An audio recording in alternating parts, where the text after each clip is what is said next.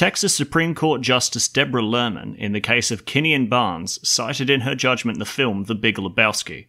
Her Honor, summoning John Goodman's character Walter Sobchak, quoted this scene. Excuse me, sir. Could you please keep your voices down? This is a family restaurant. Oh, please, dear. For your information, the Supreme Court has roundly rejected Walter, prior restraint. This is not a First Amendment.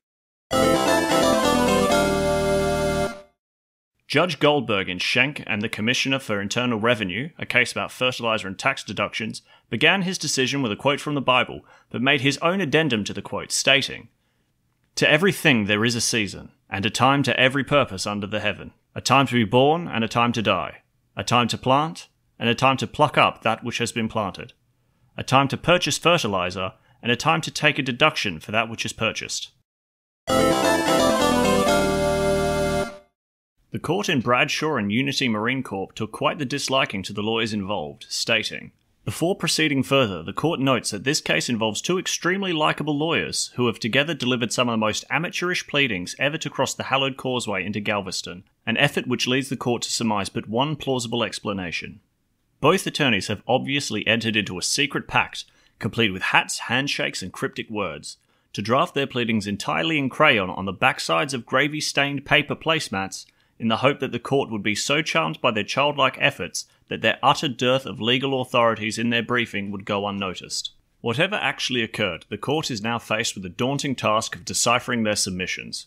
With Big Chief tablet readied, thick black pencil in hand, and a devil may care laugh in the face of death, life on the razor's edge sense of exhilaration, the court begins.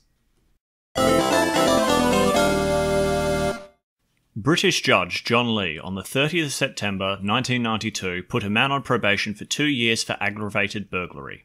Why? The court was told the man had committed the crime as he was hoping he would be arrested so he could get away from the emotional problems with his girlfriend.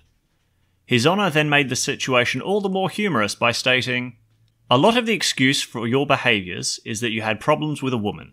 Who do you think hasn't? I've had my girlfriends. I've had a wife for the last 37 years. Even after 37 years, they give you problems from time to time. I'm sure that I can say for her that I don't go out committing crimes to work out my frustration, and neither does she. If a woman upsets you, that's alright. It's part of their function in life. It's part of the fun they have. It's part of your fun as well. If you have not picked up on that, you should. His Honour then took it even further. When asked by a female member of the press to elaborate on his statement, he responded with a queer of his own. Which lesbian group are you from?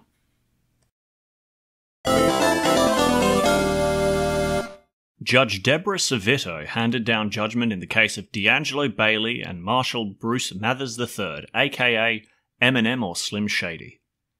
Her Honour handed down an excellent and lengthy diss rap in her order, stating, To convey the court's opinion to fans of rap, the court's research staff has helped the court put the decision into a universally understandable format. She begins. Mr. Bailey complains that his rep is trash, so he's seeking compensation in the form of cash. Bailey thinks he's entitled to some monetary gain because Eminem used his name in vain. Eminem says Bailey used to throw him around, beat him up in the john, shoved his face in the ground. Eminem contends that his rap is protected by the rights guaranteed by the First Amendment. Eminem maintains that the story is true and that Bailey beat him black and blue. In the alternative, he states that the story is phony and a reasonable person would think it's baloney. The court must always balance the rights of a defendant and one placed in false light.